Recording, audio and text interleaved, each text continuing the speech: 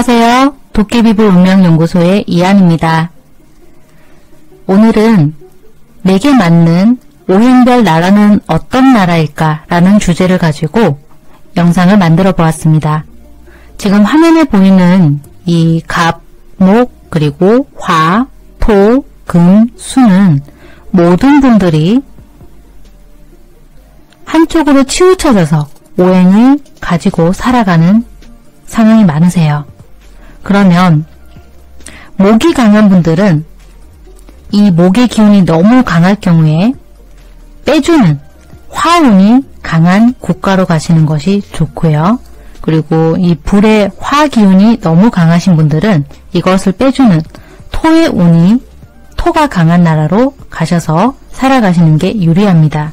그렇다면 토가 너무 많으신 분들은 토의 기운을 빼주는 금이 강한 나라를 추천드리는 부분이고요. 그렇다면 수의 기운이 강한 분들은 이 수의 기운을 빼주는 목이 강한 나라를 가시는 것이 유리합니다. 마찬가지로 금이 강한 분들도 이 금의 기운을 빼주는 수의 오행이 강한 국가로 가셔서 살아가는 것이 훨씬 유리하다라고 말씀드릴 수 있겠습니다. 자 그러면 각 나라들이 어떤 오행이 강한 나라들인가 즉 화가 강한 나라인지 토가 강한 나라인지 금이 강한 나라인지 수가 강한 나라인지 이렇게 한번 살펴보는 시간을 가지도록 하겠습니다. 제 영상이 마음에 드신다면 좋아요, 구독을 꼭 부탁드립니다. 감사합니다. 뜨거운 화의 기운이 많은 국가입니다. 스페인,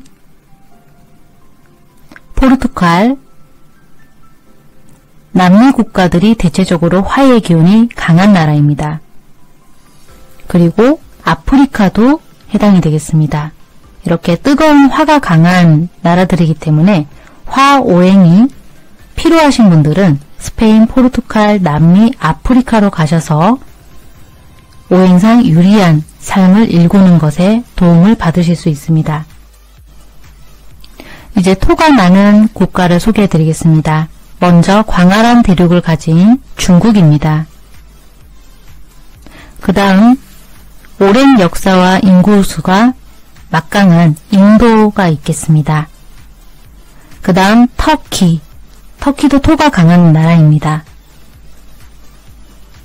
산악과 어마어마한 자원을 가진 중동 국가들도 토가 강한 나라들입니다. 즉, 토오행이 사주상에서 부족하거나 필요하신 분들은 중국, 인도, 터키 또는 중동 국가들로 이주를 하시게 되면 오행의 도움을 유리하게 받으실 수가 있겠습니다. 이제 금이 강한 나라들을 소개해 드리겠습니다. 먼저 프랑스, 독일, 스위스, 미국, 캐나다, 그리고 이탈리아, 서부 유럽 국가들은 거의 금이 강한 나라들에 속합니다. 금의 오행이 필요하거나 금의 오행이 부족한 분들은 해당 국가들로 이주하시는 것을 추천드립니다. 이제 수기운이 강한 나라들을 소개드리겠습니다.